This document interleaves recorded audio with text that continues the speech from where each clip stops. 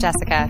I'm a senior engine parts specialist, and today I'm here to talk to you about engine repair options. Did you know CAT engines are built to be rebuilt? That's because we have many parts and components that have varying levels of wear. Those parts that are intended to wear are covered in our lower level repair options.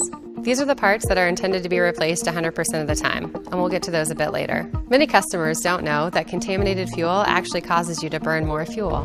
The life of an engine can be measured by fuel burn.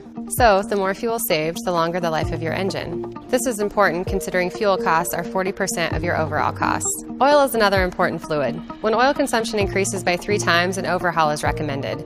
Ultimately, you can focus on these fluids by practicing good maintenance habits. By practicing good maintenance habits, you can plan to replace parts at the right time and extend component life before a replacement is needed. This is a key point where good maintenance habits can save in fuel and oil consumption and lower your operating costs by 5 to 10%. On the flip side, by not practicing good maintenance habits, repairing an engine after failure can lead to an increase in cost of 190%. So now let's talk about planned and problem indicators. By making good decisions early on in the life cycle and paying attention to planned indicators, you can plan your repairs, which keeps you in control rather than reacting to a problem indicator.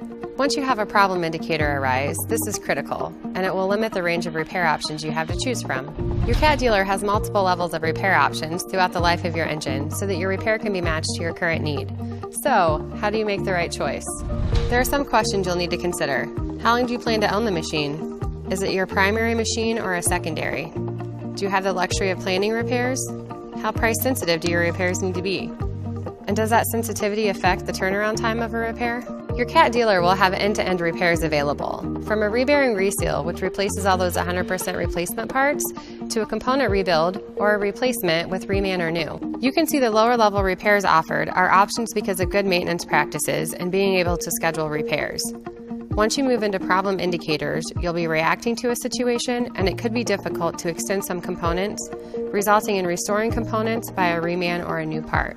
As you move through this chart, there are many CAT advantages. For example, in a rebearing reseal and a rebearing reseal plus, you'll refill with new fluids and you can extend component life up to 50%. As you move through the dealer rebuild exchange, reman and new options, you'll restore 100% component life and performance.